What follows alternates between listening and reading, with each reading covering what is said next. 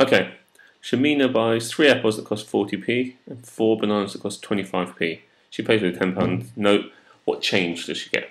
Well, three lots of 40p is £1.20. Four lots of 25p, that's the bananas, is £1. So the total is £2.20.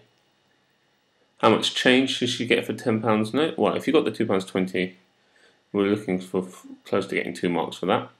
Now the change, you've just got to do £10 minus £2.20.